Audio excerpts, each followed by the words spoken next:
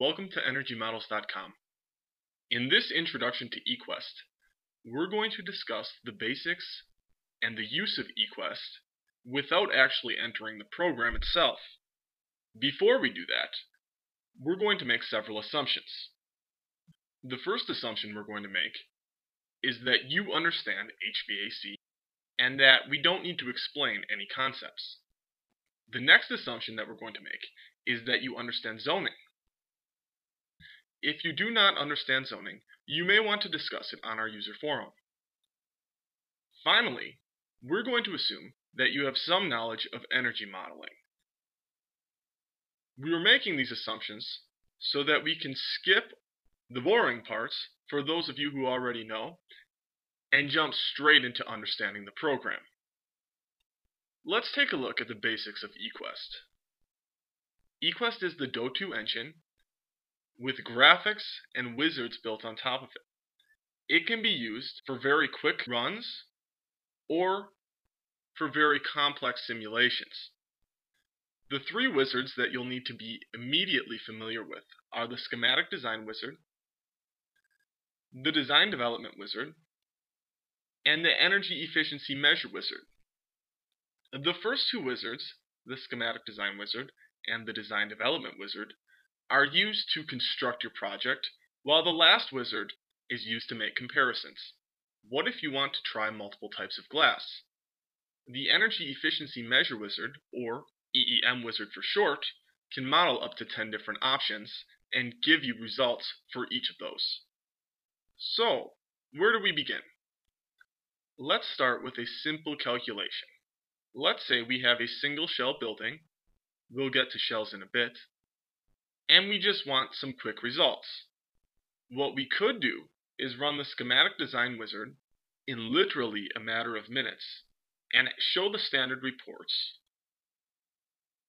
In addition to that, you could run the schematic design wizard, then run the energy efficiency measure wizard, which is run after you complete your schematic design, and from the Energy Efficiency Measure Wizard, you could get the standard reports as well as the parametric run reports comparing multiple options.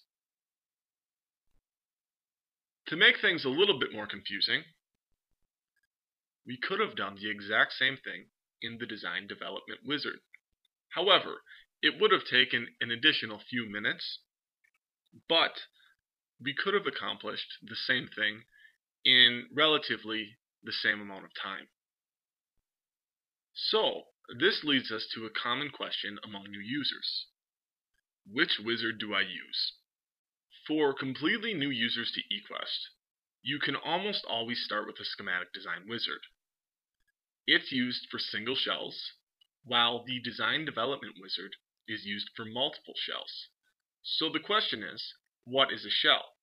Well, if you look at the pictures here and see on the left-hand side, there's a three-story building with three identical floors, all sharing the same building footprint. So that would be a single shell. The image on the right shows a single building with an additional wing that would be considered an additional shell, since all parts of the building do not have a common footprint. However, if you started in the schematic design and later on you determined that you had an additional shell, you can always jump from the schematic design to the design development wizard. eQuest is made such that you can hop around from different programs and still keep your same data. However, these are mostly one-way streets, as we'll see here. A typical user could run the schematic design wizard,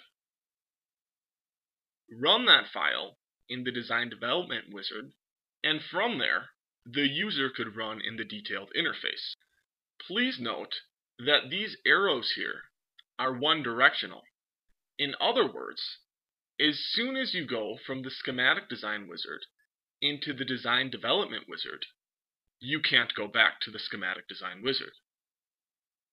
It's the same way when you go into the detailed data entry, you can go back into the last wizard that you had used.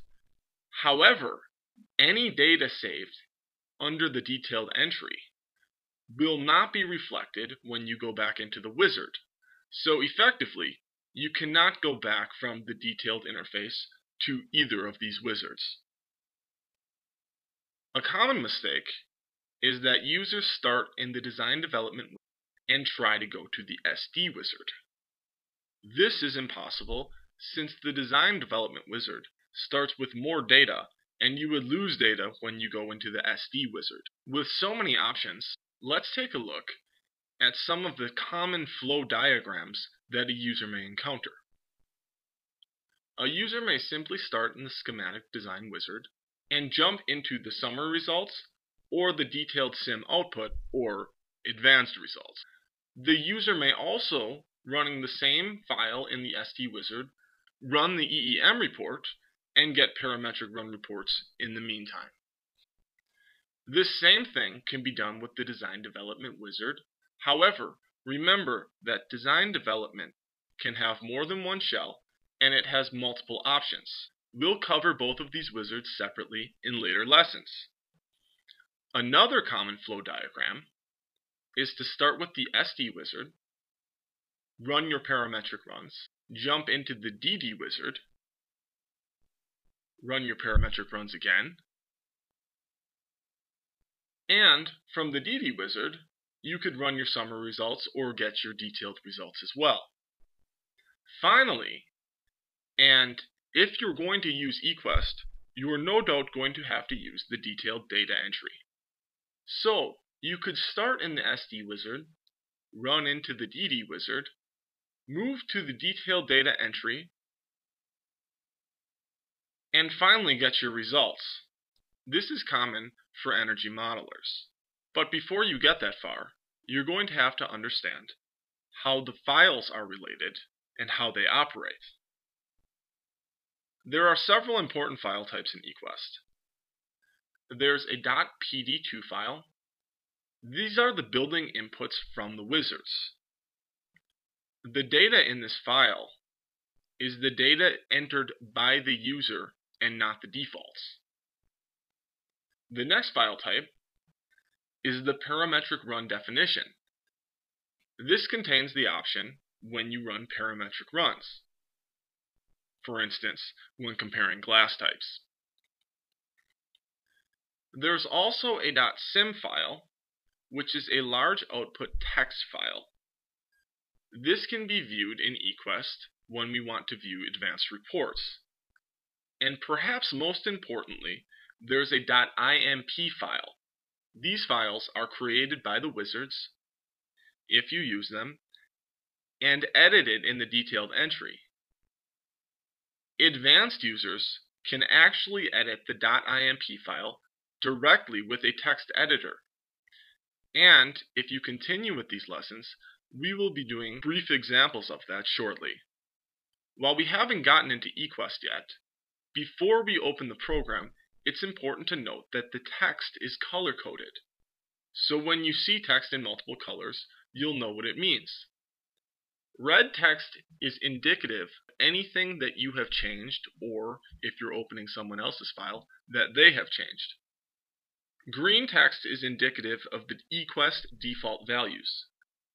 Less common are the last four colors, dark blue and light blue, library values, or user-defined default values, magenta for values based on formula-like expressions, Expressions will be covered in a later lesson as well.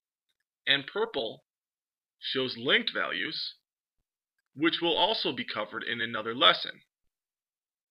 While all this data may be overwhelming at first, remember, we're going to start simple and gradually get more complex. In the next lessons, we're going to take a look into the program.